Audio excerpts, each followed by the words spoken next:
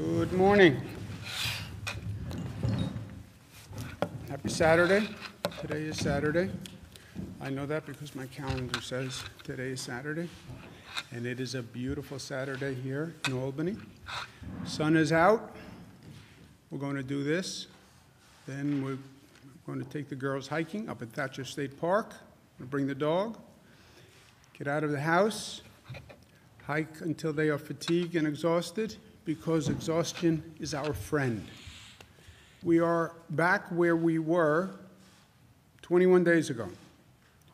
21 days of hell. Last point, personal opinion. Somebody said to me, I can't do this anymore. I can't take it anymore. Uh, so who said it to me is not important. Uh, but it was one of my daughters. Uh, so I won't tell you which one, though, protect privacy.